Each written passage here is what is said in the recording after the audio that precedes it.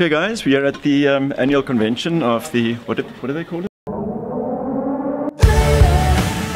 If you're looking for some crazy, I'll tell you everybody's standing in a line for the water slide. Sure. And um, hello. we've known each other for a while, and we've decided to do an impromptu little chat about. We're both. Uh, you, what disability? You're below-knee amputee. Benoli amputee, and I'm a, a TK amputee, and uh, so we have a lot in common. And I think we all we want to do is just have a little chat about that and connect with each other and share our story with you. So maybe we can start by you want to tell us what happened to you, or how did you get to the point where you had your leg or lost your leg, or I had medical negligence. Um, unfortunately, these things happen, and my ankle was fractured without permission, and then I got salmonella infection in the bone, which caused a seven-year downhill spiral with septicemia. Infections. I think that's a big problem in amputees, It and is, most huh? of the causes of amputation is infection. it is. And I wonder how many people have gone to a hospital where they could have had a lot less damage, or uh, a, a, a more beneficial amputation that ended up with something worse because of Definitely. Um, like I said, the infection was in my ankle, and it took me literally seven years before I decided to amputate. Mm. Or actually had no option but to amputate. Mm. And in the process, you honestly destroy the rest of your body by donating bone, donating your own blood, donating Skin. skin, mm-hmm. bone marrow. And- but I had a we had a, a, a correctional procedure done to straighten the bone after I had so many operations as a child, which resulted in a non-union for two years. okay, And then the infection came with the external fixator. okay. And you're a ballerina, right? You I used was a dancer, So it acrobatic. kind of yeah, and it ruined. So that I mean, it ruined. It completely changed your life.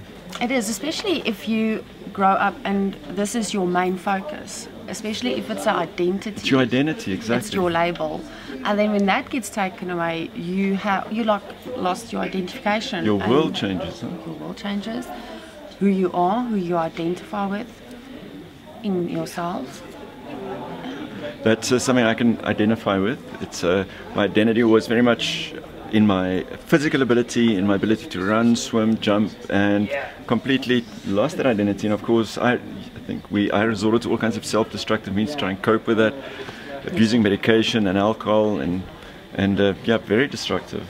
You do, I think, because it's you do become self-destructive, but also pain is such an individual thing, and I think people will do extreme things not to experience pain, and either if it's physical, if it's emotional, Mm. people go to extreme measures not to experience pain Yeah. and to self-medicate With and uh, to get blunted, not to feel. yeah, yeah. And when we stop, all the feelings come rushing back, and like you, I think you said that it felt like you were yes. bipolar or something. I felt bipolar when I stopped abusing all the pain medication and anti-anxiety tablets with alcohol. Um, I remember the first few months I experienced like real sadness and real happiness. With you would watch an advert and you'll become emotional. What is going on with me? Mm. I'm like hormonal. My mm. emotions is all over the show. So yes, it you do experience, but then you really feel alive. Yeah, you start yeah. feeling real alive, and that's one of the reasons why I do not like to take any things that kind of blunt me. Still, Any mild, mind-altering substances, huh? not at all, because I want to be here. I want to be aware. I want to be awake. Want to be here in the living real world. In the now, yeah. The question I've been wanting to ask you is, what do you think? Um, I mean, there'll be quite a few amputees and potentially disabled people watching this this video, and um, what do you think the for for somebody who's considering an amputation? What do you think the most single most important thing is that they need to to consider? I mean, that's a tough question to ask because there's so many things. But in, in your experience, what do you think is really important to to consider? I do I do speak a lot to people that is considering amputation that approaches me about how is it really, you know, mm. like being honest. And I always say the biggest question you need to ask yourself and the doctors is what quality of life do you want? Mm. What is a quality life to you? Mm. Are you happy with just moving around home, going to the shops now and then, or mm. do you want to be active? That is a really, you- really important consideration. So it really goes about what do you define as this is a good quality life? yeah. Am I pain free? Number one, because we know mm. where pain leads So to. So pain free would be absolutely the first. So, so Absolutely the number entire one. procedure should be determined by what will leave you with the least residual pain. Yes, Okay. and I also I always what I see a lot also is most traumatic amputations, which they do to save a life, is usually done in a very rushed manner. So the finer things with the neurons and where they take all the nerves and where they put the scar, all the important things is not being considered. So the first thing that I always say is go see your go find an orthotist see what um, components do you need in a prosthetic Yeah, foot? yeah. so that it doesn't matter how short you go and how much of your own body you save. If Mm. it's too short you can't fit a proper prosthesis in it. Mm, You, you need to fit a sock. You need to fit the foot. Mm, all the components of a prosthesis.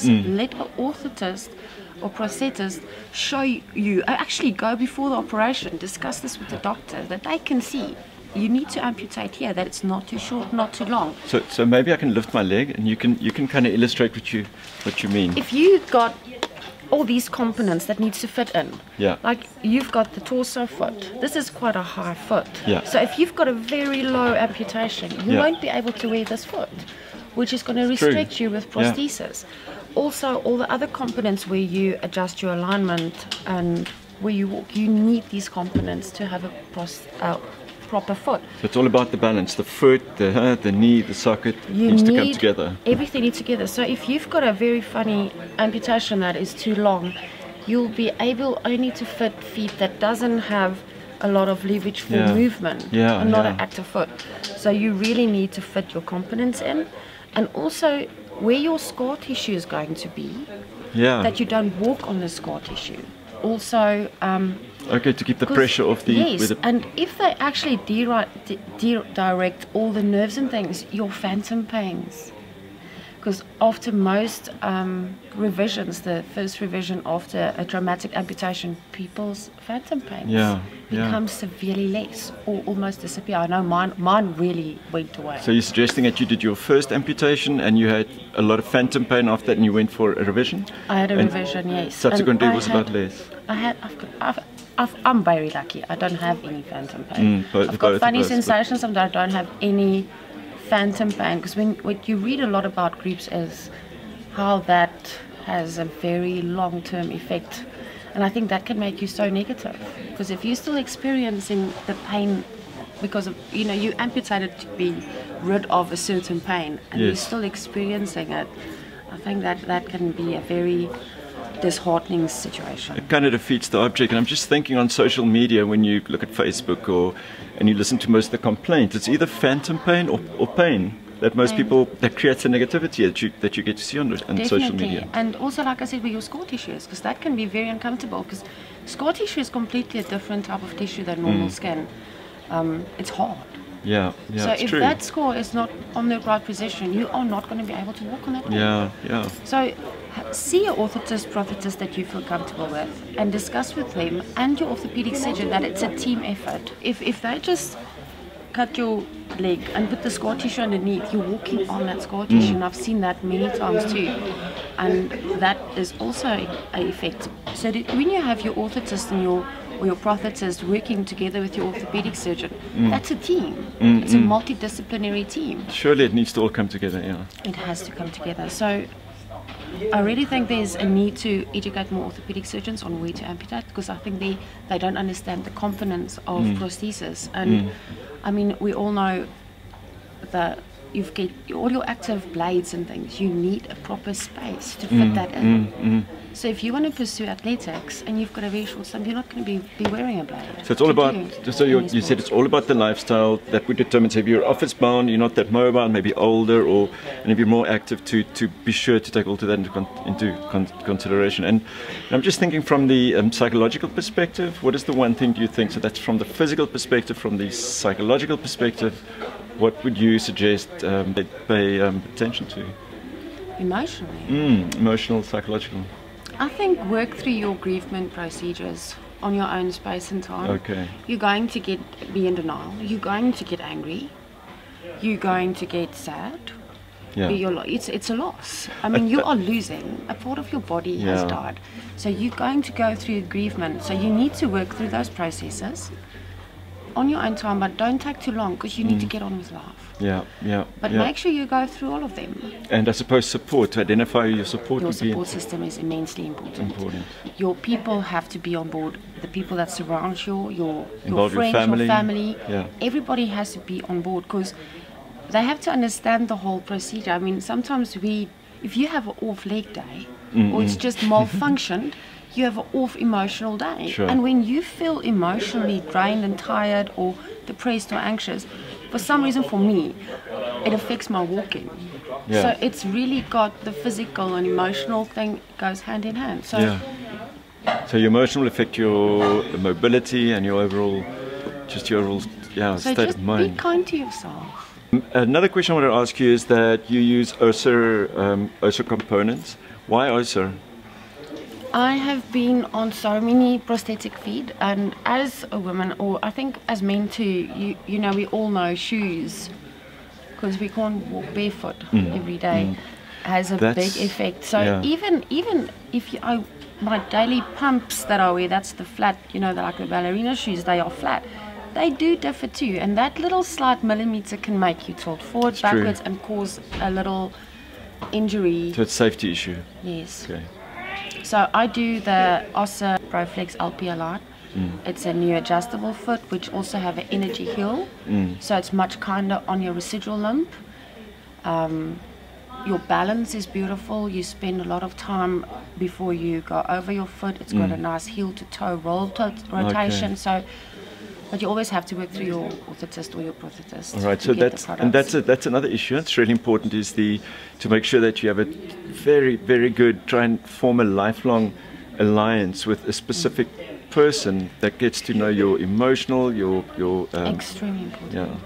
Yeah, your orthotist, I think, or I always think that they do a lot of psychology too, because do, huh? they know when you walk in there and you're not happy with your prosthesis, they know they're going to deal with a difficult person. Yeah, And yeah. you need an orthotist where you can be angry Yeah. and upset and walk in there and feel frustrated Yeah. and know that it's okay.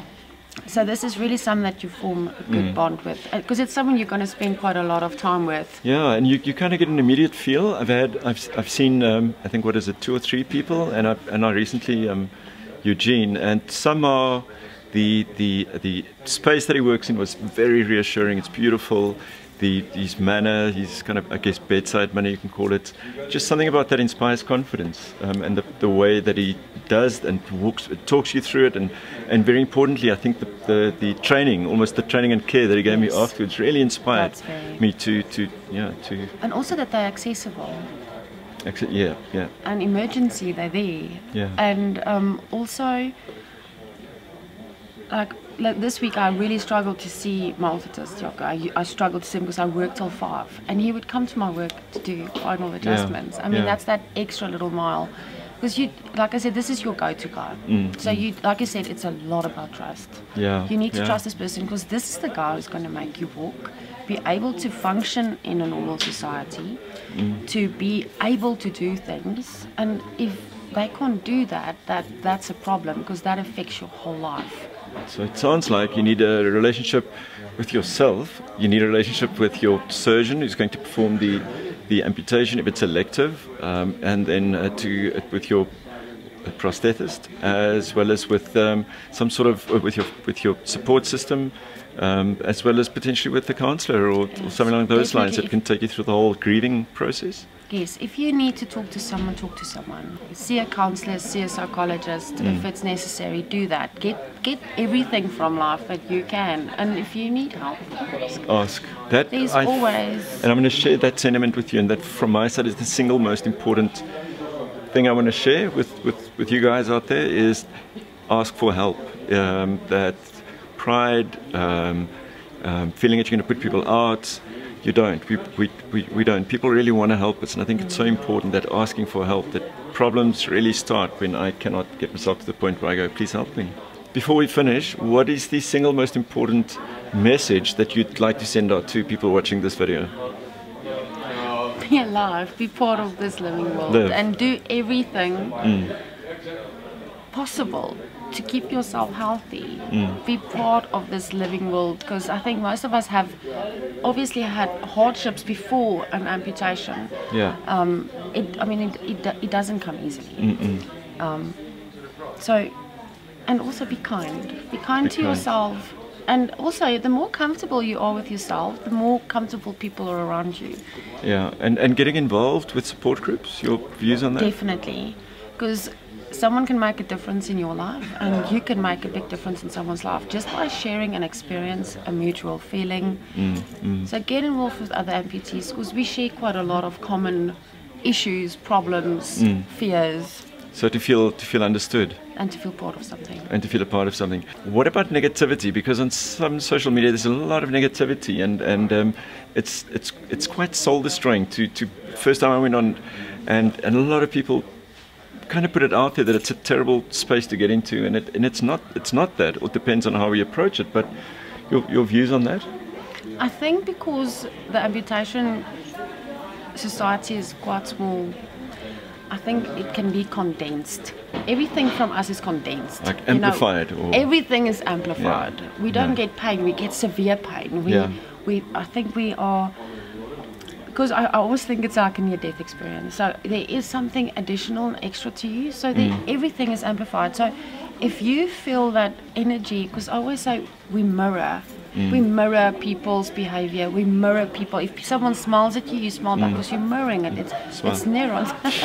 and um, so surround yourself with people where you can mirror positivity. Okay. Can withdraw that from. Okay. Because negative energy drains us, and that will just affect your whole day. So when you feel negative in a situation. Mm.